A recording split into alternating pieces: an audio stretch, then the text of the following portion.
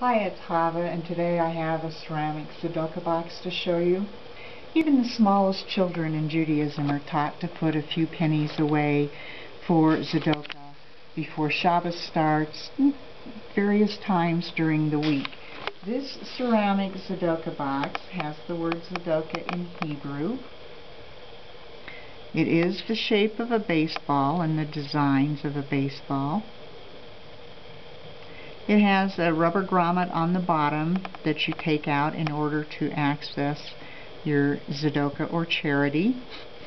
This uh, softball tzedakah box is approximately 3 inches by 3 inches and it is available at Aharon's Jewish Books in Judaica in the Mile City of Denver or please check our drop down menu below for ordering information.